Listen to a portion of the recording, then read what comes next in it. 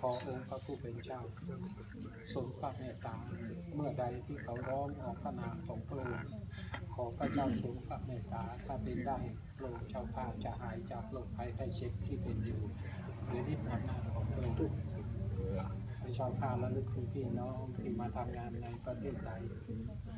หลายหมู่หลายคณะโปรดเจ้าข้ารวมถึงพี่น้องที่มูลนิธิ โดยชาคาอธิษฐานคือผู้นำครอบครัวของอาจารย์ไม้และผู้ที่พักปาอาศัยอยู่ที่ห้านทั้งเด็กและคนที่ตายขอพระเจ้าทรงโปรดที่จะประทานสันติสุขประทานความเชื่ออันมั่นคงขึ้นกับเขา เพื่อจะเจริญขึ้น ขอพระเจ้าทรงปกป้องคุ้มครองสิ่งหนึ่งสิ่งใดที่เขาขาดอยู่ ที่เป็นคุณเป็นประโยชน์เพื่อพระนามของพระองค์ขอพระเจ้าทรงพระเมตตาด้วยพระองค์เจ้าข้าและเวลานี้ขอระลึกถึงพี่น้องที่สนับสนุนที่ต่างประเทศพระองค์เจ้าข้าทีมงานของอาจารย์พงมี่ขอพระเจ้าทรงโปรดที่จะเสริมกำลัง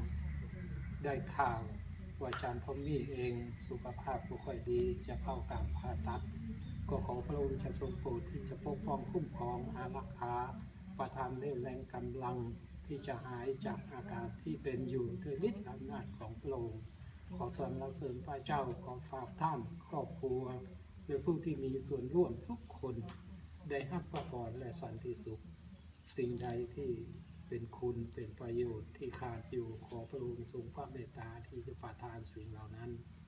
พระองค์เจ้าข้าเวลานี้ขอระลึกถึงบุญบุญหลานของข้าพระองค์ทั้งหลาย ที่กระจัดกระจายกันอยู่หลายที่หลายแห่ง